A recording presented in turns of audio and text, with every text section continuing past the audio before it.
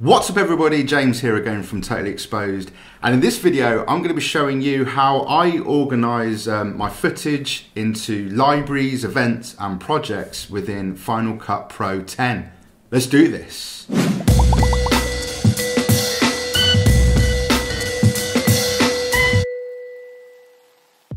So first of all, if you're brand new to Totally Exposed and you've not seen any of our videos before, thank you very much for checking out this one.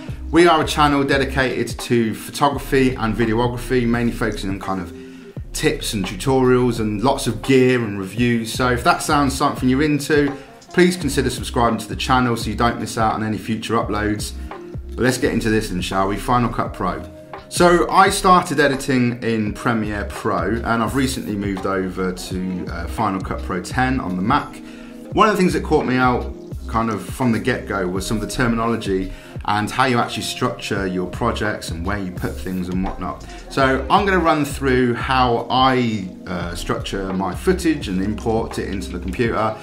This isn't a hard and fast rule, it's not correct necessarily, there's no right or wrong answers for this, but it's how I do it. I thought I'd share it with you guys. If you're new to the program, then it may be of use. So first off, on the computer here, um, I tend to edit everything off of a little external SSD drive um, and I will make a new folder for every new project that I'm about to start. In fact, let's not use the word project because project is one of the terms of a, a level of something in Final Cut Pro 10. Let's call the, from now on a deliverable. So a deliverable could be like a single YouTube video or a client project or a music video or something. We'll refer to that from now on as a deliverable. So the way that we do it, for each deliverable, I like to make its own folder. So I'll make a new folder here and I'll call this, um, so we've got some footage on here from when we were building a table in Neil's garage. So let's import that, shall we? We'll use that as our demo.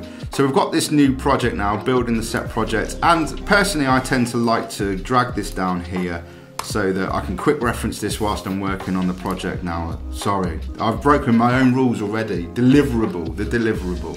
So within each deliverable folder, I like to have a few other subfolders. Now subfolders are the key to me to structuring the project, deliverable, ah, structure in it and getting everything organized. You want to be totally organized from the get-go. If you want to start reorganizing things later, you could end up in a right mess. So I tend to create a folder first called assets and I'll make another folder called delivery.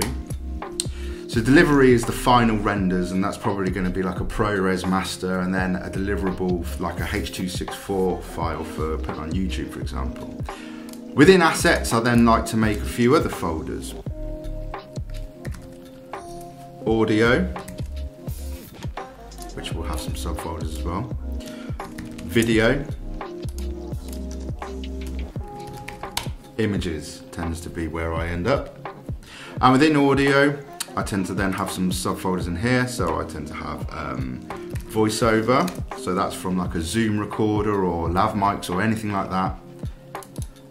Uh, we'll have music. We'll have some effects. And then within video, depending on the uh, the deliverable that we're working on here, um, this could be split by days. So day one, day two, depending on the kind of shoot that you were doing. It could be split then by cameras and all sorts of stuff. I prefer to just keep it sort of A roll, B roll. We can see where we're going from there. I can branch things off if I need to further on. So I like to have a folder for all the A roll folder for all the B-roll. So I've got the kind of project structure set up now, the folder structure. Uh, let's go and get some of the files that we had. Um, so these are some clips uh, when we were building this table. Um, and I've already kind of loosely said these are B rolls, these couple are A rolls, and then I've got um, a, a, an audio file that I'd like to include as well. So for now, I'm going to copy these files. I know that they're B-roll files. And I'm going to copy these over here. These two I know are A-roll files. Put those in there. And then this is some music that I'd like to use. So that'll go in audio, music. Now the reason that the folder structure is quite important is because as you'll see when we get into Final Cut Pro, this folder structure will allow you to create sort of keywords or filterable subsections within events. Now that might not make any sense yet, but let's find, let's have a look at that now. Because I think now I've got a folder structure set up, it's a good time to create the library. Um, so let's talk about libraries. Now libraries can be used as a collection of lots of sub sort of sub deliverables, we'll refer to that. So you could have a library called all my YouTube videos and then um, all of them kind of in there. Personally, I don't like that approach. You can kind of get unstuck very fast. Your computer will slow right down. It makes it a bit of a mess. I prefer to have one library per deliverable. So each one of these uh, folders has a library within it. So let's launch Final Cut Pro and we'll start importing some of this footage in. Okay, so we've opened up Final Cut Pro, it's totally empty. We'll go File, New, Library. And we'll navigate to our building set project and we'll call it building set. So if you are familiar with Premiere Pro, the way that I see a library is this is the same as a project file. So the project file that you had for Premiere Pro, the whole thing, this is a library within Final Cut. That's the analogy that I use. So you'll see now in here, um, we're given our first event. So an event they date it. events kind of, they're like, again, if you're familiar with Premiere Pro, to me, they're like bins, but you can't nest them. They're sort of top level. Um, and I tend to use them in the same way as I use these folders here, audio, images, and video. Um, I've seen other people say you should just dump everything in your event and use all of the further keyword filtering and stuff. I prefer to have an event for each one of these three, so audio, images and video, and then the keyword generation will happen in here when we have these subfolders and stuff. So um, let's, as soon as we've already got an event, let's make that event for video and we'll make a couple more events. We'll make one for uh, the images, and we'll make one for audio. So let's import some video into this video event. You can see there's the import media uh, prompt here because we haven't got anything yet. You can also launch this by holding command and pressing I. So we're in here, we're inside our assets folder and here's our video A roll and B roll. Um, I'm gonna click on A roll I'm going to import the whole folder with all of the files inside of it. And on the right hand side, you'll see that there's some additional options that are worth considering. Um, firstly, it's just confirming which event it is that you'd like to add these files to. Video sounds good to me. Files, do you want to copy them or do you want to leave them in place? Now copying them will actually get those files and if we have a look inside the package contents of this Final Cut Pro projects library, whatever you want to call it, um, it will copy them into here and manage them for you within this. I tend to not like that approach. I prefer to manage where my media is myself. So um, I always keep that as leave the files in place. Uh, in this prompt here, it's asking you what you want to do with keywords, and these are quite handy. This is where the folder structures come into play. So I tend to leave both of those ticked. Now transcoding, creating optimized media and creating proxy media.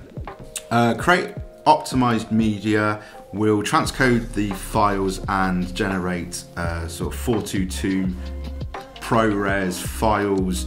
It's a bit easier for Final Cut Pro to work with. Potentially, it will even need more space depending on what it was that you shot the footage in in the first place.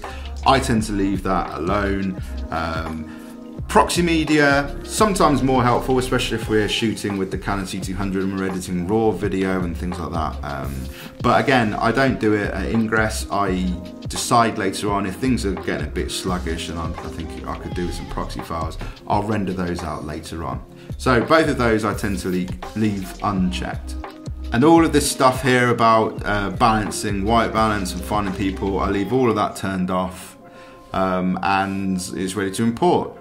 So I'm going to import these files and nothing's moved, so everything is as is, but now there's a reference within Final Cut Pro to these two A-roll files.